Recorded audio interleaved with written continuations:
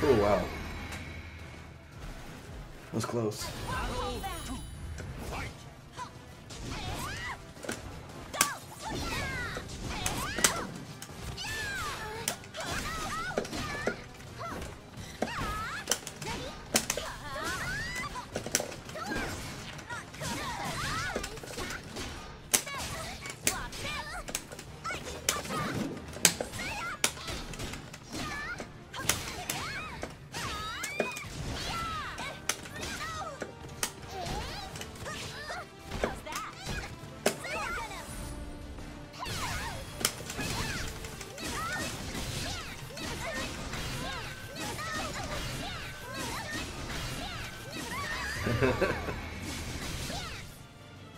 When in doubt, do the worm.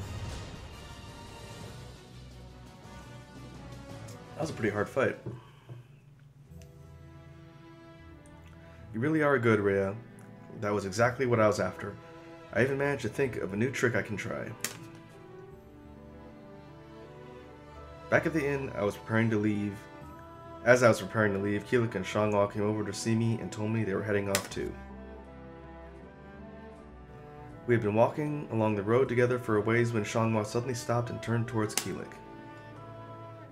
Okay, Kilik, it's time for our fight. The winner gets to decide what our ne- next pact is. We're doing this now? Yep, Rhea's here, right? That means we have a witness.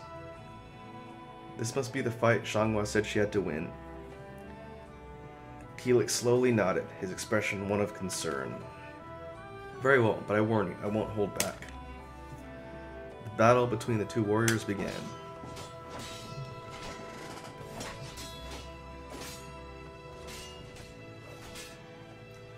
Their weapons struck at each other with blinding speed, sparks flying with every blocked blow. Strike, parry, riposte.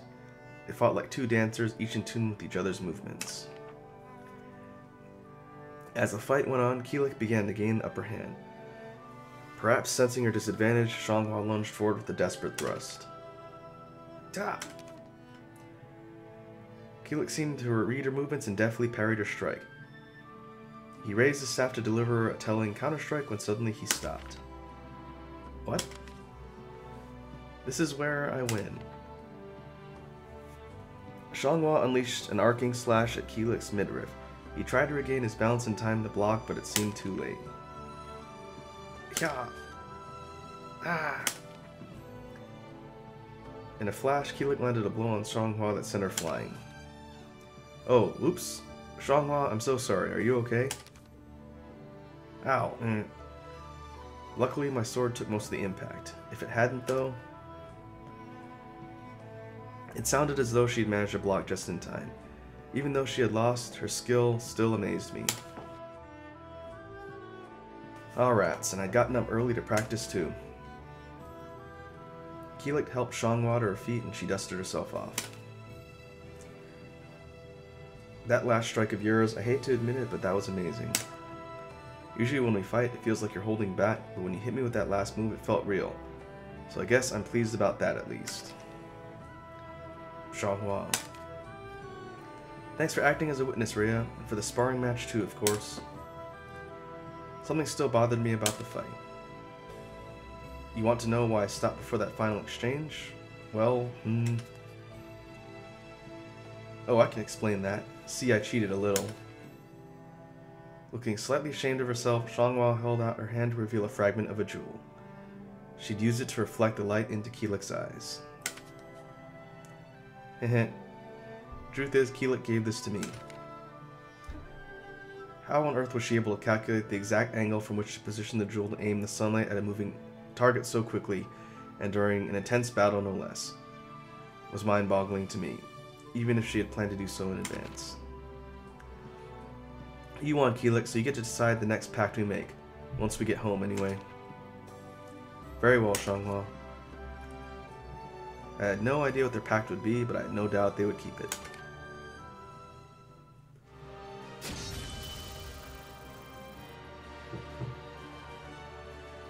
Almost another level up.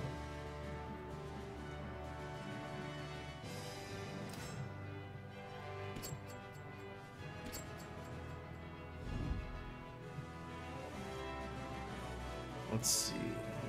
Where else can I go that's close by? I go up here? Yeah, that's not too expensive. Bounty for scoundrels.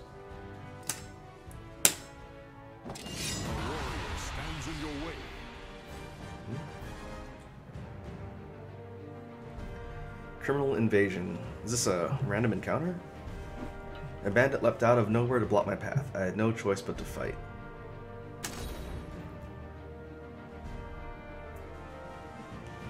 I don't think that's ever happened so far. Level 27, grow.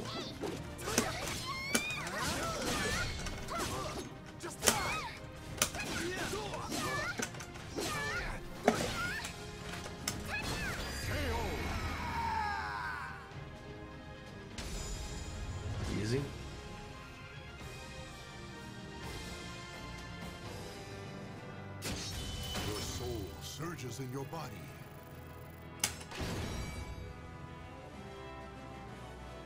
Manju, Ictaroc, Kunwu, level 55. Oh, that must be a mercenary.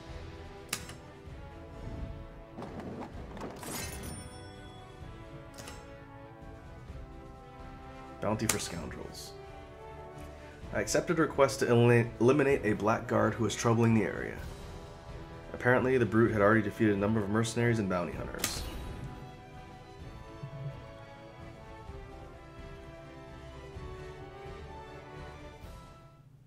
Oh, no story for this one? Throws do more damage, though.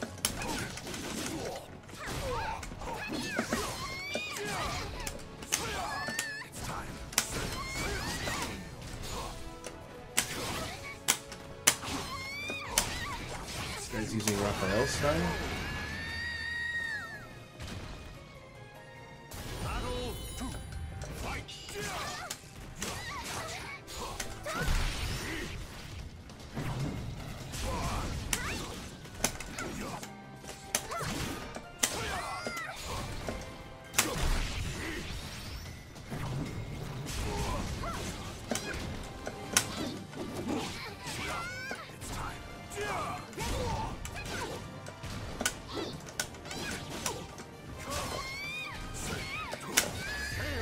Not easy to throw this guy. The soul of a warrior now lays here to rest. Battle one.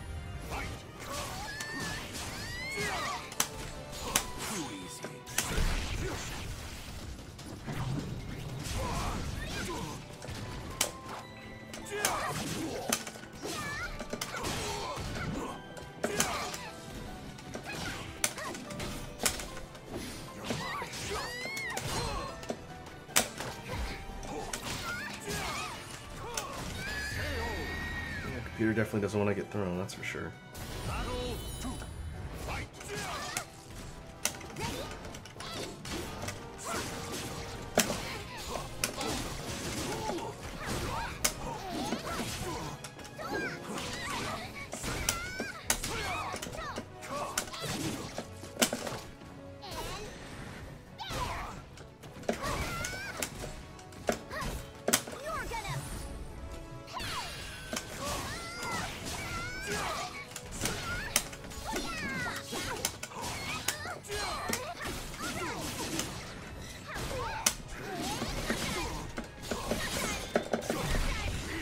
Grave.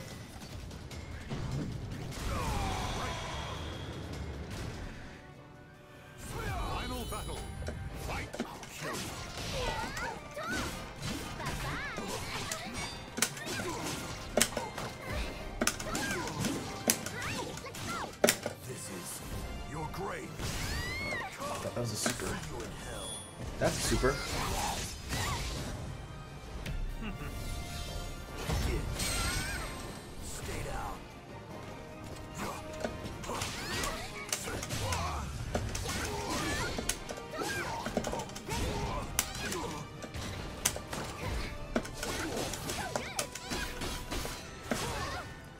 Really close to the edge. Uh oh. Oh, come on! I was winning too. The soul of a warrior now lays here to rest.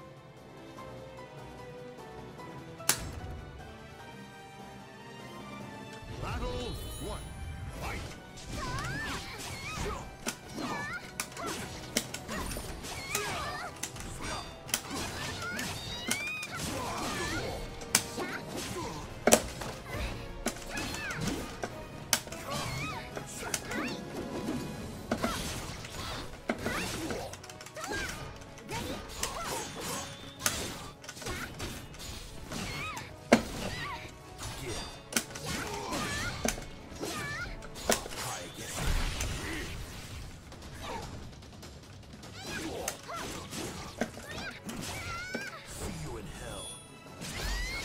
That hit me off the ground?